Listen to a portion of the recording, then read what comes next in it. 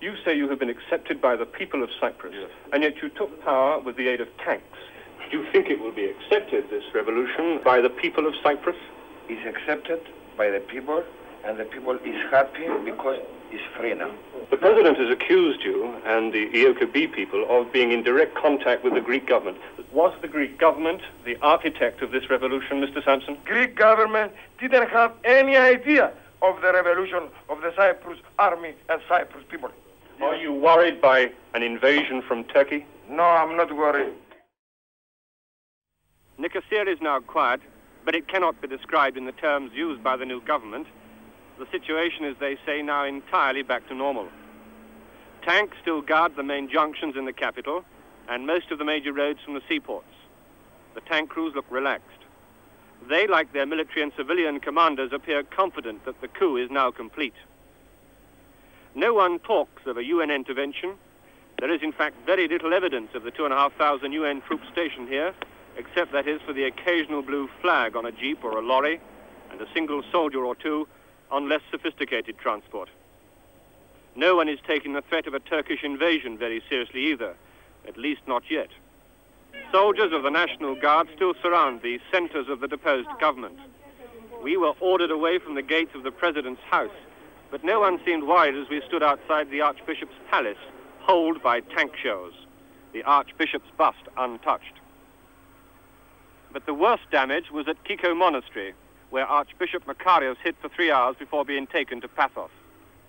We were not allowed inside, but the now very casual soldiers who did so much of the damage told me it was completely gutted. It is still not easy to drive around the capital. There are roadblocks every 600 yards or so. Pro-Makarios supporters, still armed, and many thought to be carrying high explosives, are known to be holed up inside the city walls. The curfew, which starts at 4 in the afternoon and ends at 6 in the morning, is still rigorously enforced. Orders to shoot curfew violators on sight still stand. But today there were certainly more people out on the roads. The announcement last night that the airport would reopen this morning to civilian traffic has done a lot to relax people. Two jets left before midday. At midday, the newly appointed president of a self-appointed government gave his first press conference. He spoke to the world's press in Greek, but he later agreed to talk to me in English. Mr. President, uh, is, uh, is your coup complete now? Our revolution against the dictatorship of the ex-president is finished. We are uh,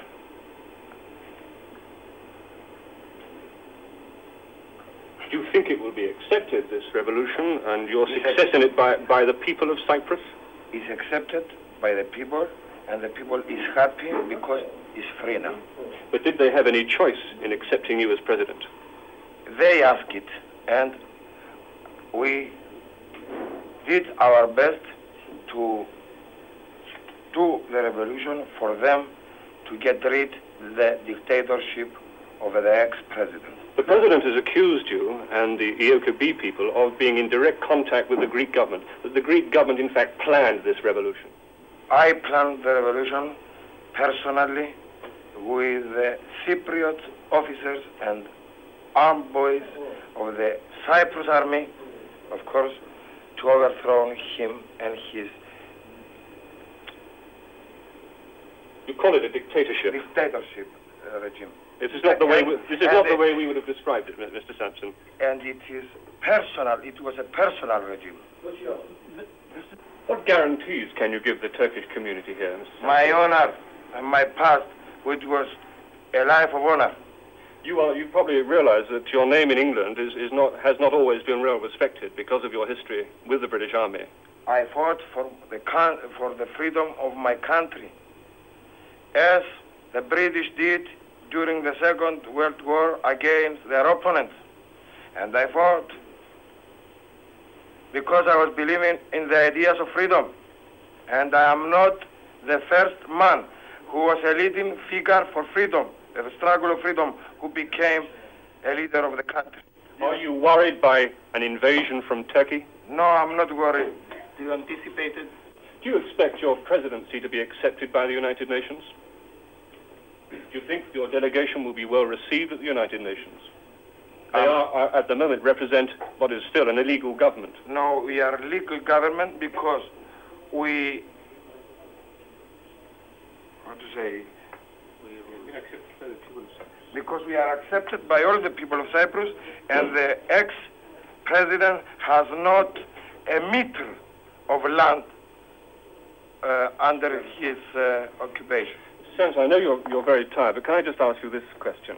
You say you have been accepted by the people of Cyprus, and yet you took power with the aid of tanks, and you I attempted to was I was elected, and the most and uh, some people of my government were elected as members of the House of Representatives you, you were elected by your own personal followers, but not by the people of Cyprus. by the people of Cyprus were elected, and you we haven't had elections yet, have you? We will have elections in a year, and we'll show to the uh, international world opinion that the people of Cyprus wants us to be Can you, give, can you give the outside world any guarantee that in one year's time there will be free elections in Cyprus and people will be free to choose their own Of president? Of course, because we have members of the House in the government, and uh, we didn't dismiss the House of Representatives. Would you allow And- President Makarios to come back here? I told you that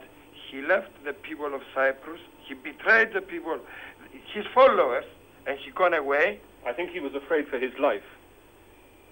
A leader who fights for his people, he dies for his people.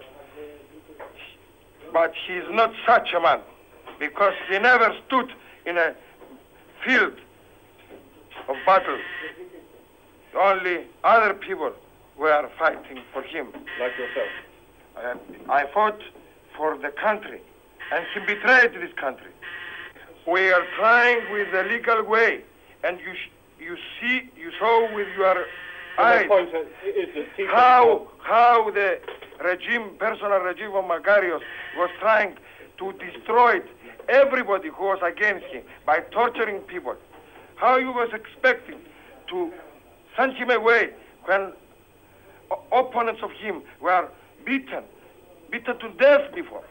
Was the Greek government the architect of this revolution, Mr. Sampson? Be sure, and I guarantee you, Greek government didn't have any idea of the revolution of the Cyprus army and Cyprus people.